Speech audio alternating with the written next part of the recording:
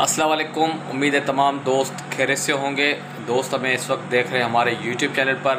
शायद vlog upload होने के बाद फेसबुक यूट्यूब या दीगर इंटरनेट सर्विस ऑफ़ हो जाए, क्योंकि पहले भी मैंने एक व्लॉग जैसे ही खान साहब की गिरफ़्तारी हुई तो मैंने एक व्लॉग बनाया, उसको अपलोडिंग पर लगाया तो इंटरनेट हमारे यहाँ से गायब हो गई, सिंध से। तो इस वक्त जो मैं व्लॉग बना रहा हूँ, पाकिस्तान के नामवर सहाफ़ी इमरान रियाज साहब को अगवा किया गया है पुलिस के ज़रिए। पुलिस ने उसको अगवा करके जेल शिफ्ट किया। जेल में बकौल आईजी जेलर, हमें तो पता नहीं है कि उसको अगवा किया गया है। अपना जेल में रखा गया था या नहीं रखा गया था। आईजी ने कोर्ट में बयान दिया है कि हमारे पास इमरान रियाज को रिहा कर दिया गया है। तो आखिर इमरान रियाज खान साहब गए कहाँ?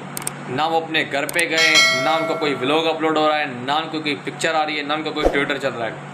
क्योंकि उनकी हिस्ट्री है, हम जब भी हमने उनको देखा है, अगर वो यूट्यूब पर यूट्यूब पर तो एक्टिव हैं ट्वेंटी फोर आवर यूट्यूब पर तो एक्टिव होते हैं, माशाल्लाह से।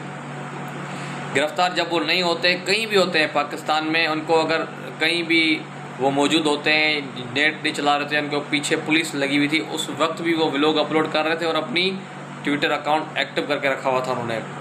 अभी उनको अगवा किया गया है ये कहा जा रहा है कि उनकी सेहत कुछ दुरुस्त नहीं है, उनके ऊपर तशद किया गया है और तशद इस हद तक किया गया कि इमरान रियाज साहब कोमा में चले गए हैं और उनको हॉस्पिटल में एडमिट करने का मुतालबा किया जा रहा है सोशल मीडिया सार्फिन की जानब से। इस वक्त पाकिस्तान में कोई कानून नहीं है, पाकिस्तान में जंगल का कानून चल रहा है। इस वक्त पाकिस्तान में कानून ये चल रहा है, अगर मैं बात करूँगा तो मैं भी उठा लिया जाऊँगा। हो सकता है, क्योंकि मेरे भी पीछे अपना कुछ दोस्त लगे हुए उठाने के लिए।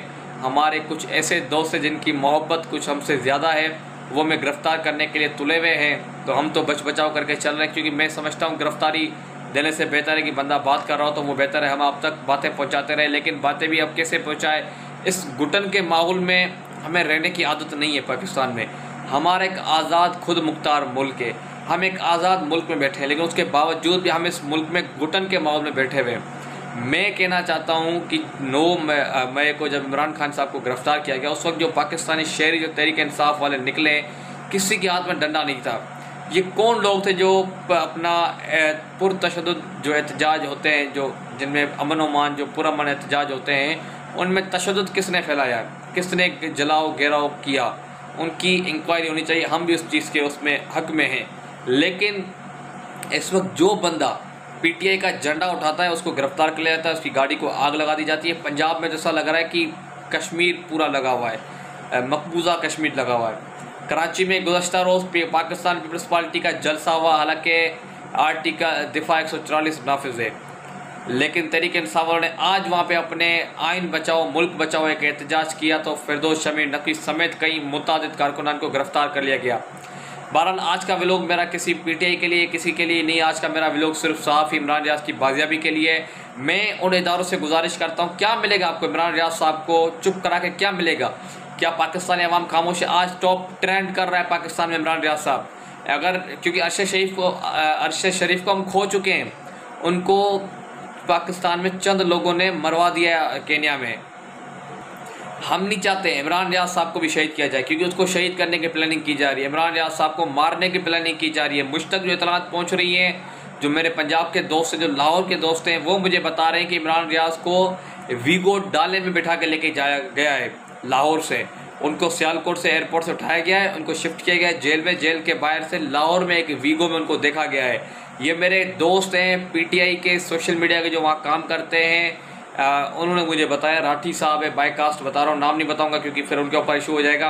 उन्होंने मुझे कॉल पे मैंने उनसे डिटेल ली तो उन्होंने बताया कि इमरान रियाज साहब को ऐसे ऐसे लेके जाया गया। सब तक इन्फॉर्मेशन पहुँच रही है इमरान रियाज साहब, इस वक्त कहाँ हैं, किसके पास मौजूद है। अब अगर हम नाम लेके बताएँगे, किसके हाउस में मौजूद है, किस, कहाँ रखा हुआ है तो ये हमें उठा लेंगे। हमारे चैनल को बंद कर लेंगे। पहले ही मेरी यूट्यूब चैनल की मोनेटाइजेशन ऑफ़ की हुई है। हम कोई पैसा कमाने के लिए व्लॉगिंग नहीं कर रहे हैं।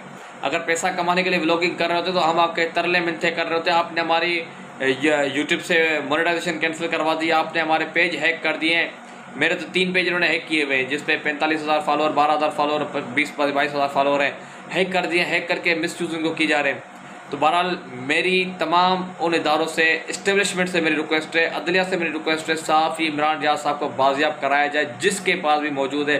क्योंकि हमें ये खदशा है कि राइवेंट से कोई हिदायत जारी हो रही है। पुलिस को कुछ इदारे के लोगों को इमरान रियाज साहब को मारना है। लेकिन हम अरशद शरीफ साहब को खो चुके हैं। इनको नहीं खोना चाहते हम। इमरान रियाज साहब पाकिस्तान की वाद आवाज़ है। आज अगर पाकिस्तान इमरान रियाज खान के लिए आवाज़ ना बने तो कल आप में हम सब मरने को तैयार हो जाए। हमारे तो इतने वसाइल ही नहीं कि हम यहाँ से बाहर जा पाए। हमें इस मुल्क में रहना है, इस मुल्क में मरना है, इस मुल्क में जीना है। हमारे पास वसाइल हम कल टिकट बुक कराएँ, कल भाग जाए बाहर जाके बैठ के बात करें। लेकिन नहीं, हमें इस मुल्क में, इस मुल्क के आइन कानून के दायरे में रहकर बात करनी है। इस मुल्क में रहकर इन आइन तोड़ने वालों का मुकाबला करना इंशाल्लाह करेंगे। मैं इमरान रियाज साहब के लिए दुआ को भी और मुतालबा करता हूँ। अदलिया से कि फ़ौरन नोटिस दे। चीफ जस्टिस ऑफ़ पाकिस्तान अज खुद नोटिस लेकर इमरान रियाज साहब को बाजियाब कराए। उनकी जान को बेहद खतरा है। कोई भी मीडिया का बंदा उनके लिए आवाज़ उठाने को तैयार है, सिर्फ़ चंद व्लॉगर्स के।